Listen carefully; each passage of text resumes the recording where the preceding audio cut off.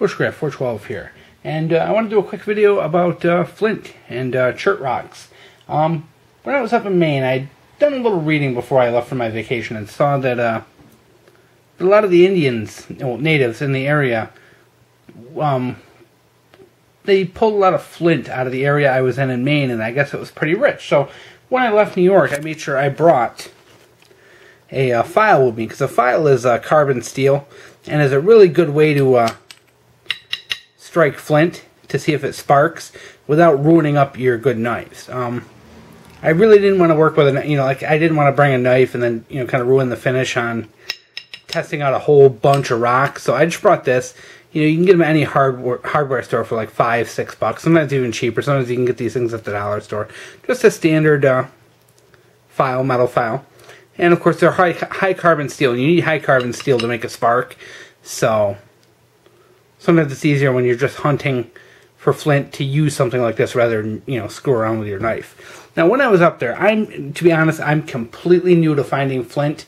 I've never flint knapped or anything like that, and it's something I was interested in and wanted to learn as a skill because being able to identify and find flint in in the wilderness is a great asset and a great skill to have if you're into bushcraft or backpacking or any of the outdoor, you know, kind of sports because it's it's a good backup being able to find flint, make fire, do all that.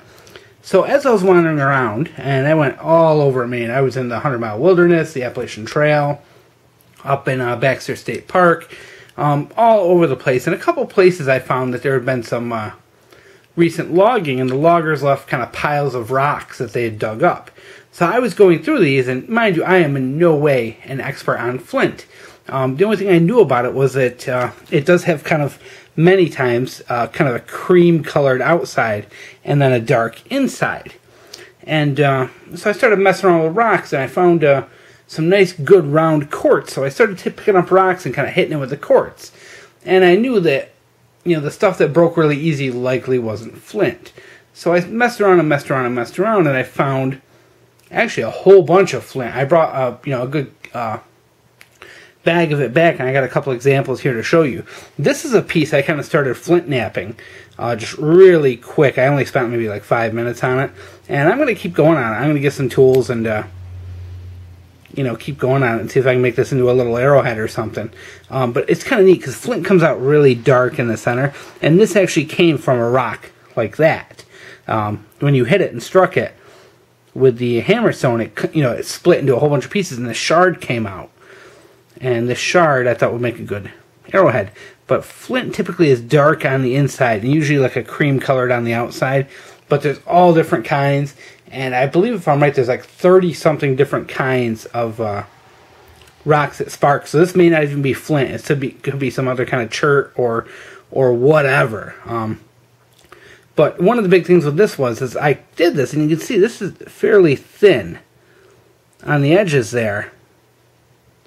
And as thin as that edge is, I can't break it. As hard as I push, I can't break it. So I knew it was a good hard rock and good, you know, a good rock. And then of course I tested it with the uh, with the file, and it sparks like you know, it sparks pretty good. So I knew this. If it isn't flint, it's something you know, it's some kind of chert that that uh that sparks. I don't care exactly what kind of rock it is, but it sparks. I'm gonna try and flint knap this and see if I can turn this into an arrowhead.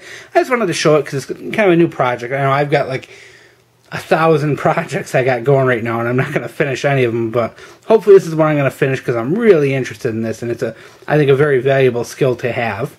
And this is one of the rocks I pulled out of the pile that hasn't been broken yet, just to kind of show you what to look for when you're looking for flint and rocks that spark. Uh, this one here, even though it's broken, will spark with the file. Um, it actually sparks pretty good. Um, I'm going to show you, it's kind of a nice cream color to it. And as you can see, there's a couple spots where you can see there's a, where you can see the darkness kind of underneath. But it's very heavy. And uh, what I kind of did to kind of figure this out is I took this rock and I started hitting other rocks with it, you know, really hard, you know, using it kind of like a hammerstone. I found nothing could break this.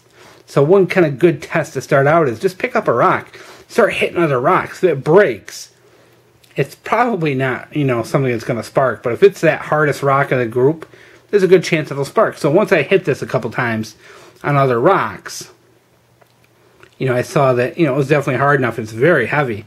So I figured this might. So I tried that with the file, and this one sparks as well. And I just wanted to show you that just so you can see the texture and the outside of this. No clue what rock this is. I don't know if it's flint. I don't know if it's some kind of chert or quartz or whatever. I'm not overly into geology. Completely new to me.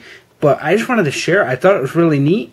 And uh, it's something I'm going to be kind of following up on and doing a little more of. I'm going to you know, I think I'm going to spend a little more time going out locally and seeing if I can find some flint uh, here in New York. But I just thought it was a really cool find and a cool new skill to have. And, and now I know what I'm looking for in the woods when it comes to these kind of rocks because I've been able to feel how heavy they are and how, how strong they are and how, how good the edges hold. So, neat little thing. And, and my best advice to you is if you're going to go out looking for flint, bring a file. Don't you know, don't screw up your knives. Just bring a file. They're a couple bucks, and they're good. I would spark these for you, but you know, I did a couple test runs, and it really doesn't show up on camera with the light on, and I'm not going to mess around doing this without dark. So you're going to have to take my word that they spark. But you know, cool thing. Just a neat little find on my trip to Maine, and wanted to share it with you guys.